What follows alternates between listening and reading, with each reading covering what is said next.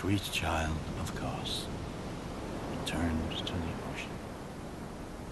A bottomless curse, a bottomless sea, accepting of all that there is and can be.